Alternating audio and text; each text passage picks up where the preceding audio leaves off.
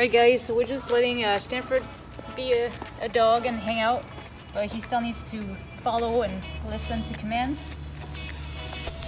Uh, he's on e-collar at a very, very low level. Sit. Good. So he, he it as a, at a two. So he's a pretty soft dude.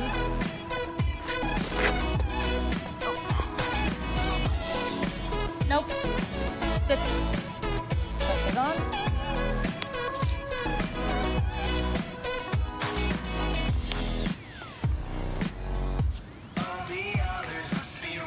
Stanford, come. Yes.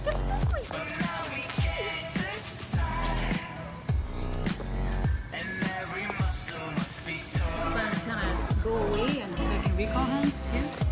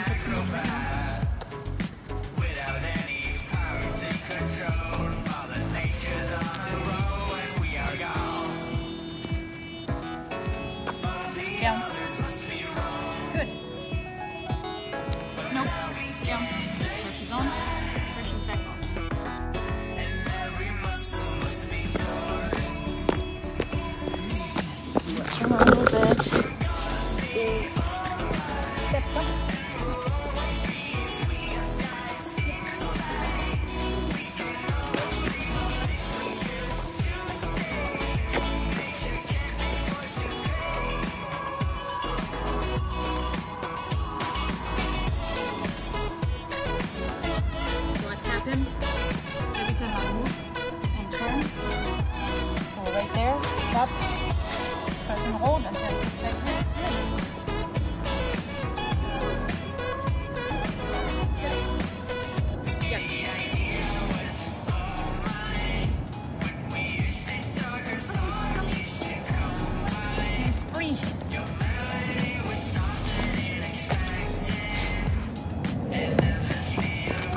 This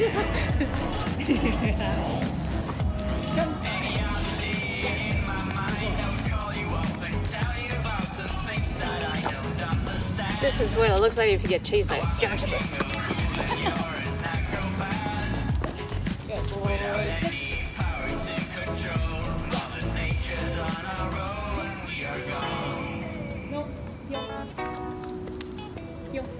Good boy.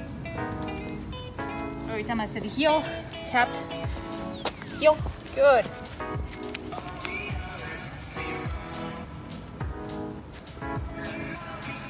So then what happens guys is down. Good boy. So every time I say heel and I turn, I tap him. He's at a six now. I needed to motivate him a little bit more. And so every time I turn, pretty much this acts like a invisible leash. So every time you pull your dog to one side, it pretty much puts pressure on the dog's uh, on the collar. So this is pretty much the same thing. It's just that it's the remote that's doing the work. So we're doing pretty good. Good job, buddy.